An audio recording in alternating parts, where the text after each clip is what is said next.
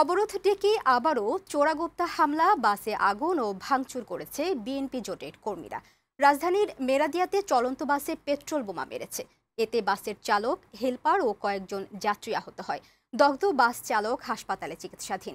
Fire service বলেছে, দেশের বিভিন্ন স্থানে শনিবার সন্ধ্যা থেকে রাত পর্যন্ত বারোটি বাসে আগুন দিয়েছে অবরোধকারীরা। রাজধানী সহ সারা দেশে বাড়তি সতর্কতা ও টহল রয়েছে বিজেপি র্যাব, পুলিশ। বিস্তারিত জানাচ্ছেন ফাহিম বিএনপির ডাকা দ্বিতীয় দফা অবরোধের আগের রাত থেকেই সারা দেশে বাসে আগুন দিয়ে আতঙ্ক ছড়ায় অবরোধকারীরা।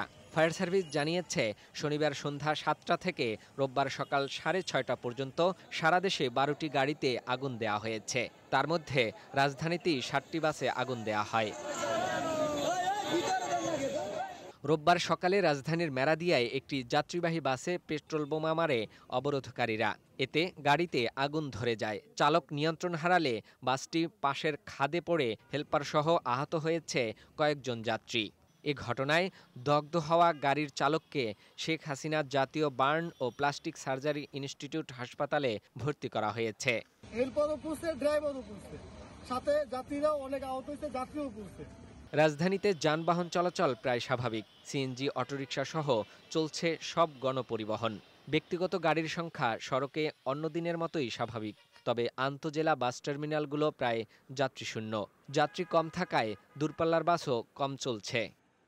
চট্টগ্রামে অবরোধের পাশাপাশি চলছে মহানগর বিএনপির ডাকা হরতাল। চট্টগ্রামের সীতাকুণ্ড এলাকায় মহাসড়কে ককটেল বিস্ফোরণ, গাড়ি পোড়ানোর মামলায় দুই আসামিকে গ্রেপ্তার করেছে র্যাব।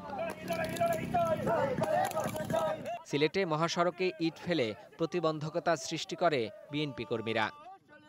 বগুড়ায় মহাসড়কে বিএনপি কর্মীরা অবরোধ ও কয়েকটি যানবাহন ভাঙচুর করে। সংঘর্ষ হয় পুলিশের সাথে। অবরোধকারীদের ছত্রভঙ্গ করতে পুলিশ কাদানে গ্যাসের শেল ছোড়ে। এ সময় কয়েকটি ককটেল বিস্ফোরণ হয়।